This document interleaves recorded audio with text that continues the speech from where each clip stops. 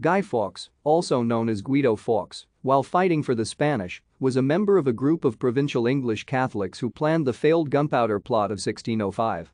He was born and educated in York. His father died when Fawkes was eight years old, after which his mother married a recusant Catholic. Fawkes converted to Catholicism and left for mainland Europe, where he fought for Catholic Spain in the Eighty Years' War against Protestant Dutch reformers in the Low Countries. He traveled to Spain to seek support for a Catholic rebellion in England without success. He later met Thomas Winter, with whom he returned to England. Winter introduced him to Robert Catesby, who planned to assassinate King James I and restore a Catholic monarch to the throne. The plotters leased an undercroft beneath the House of Lords Fawkes was placed in charge of the gunpowder which they stockpiled there. The authorities were prompted by an anonymous letter to search Westminster Palace during the early hours of 5 November and they found Fawkes guarding the explosives. Thank you for watching.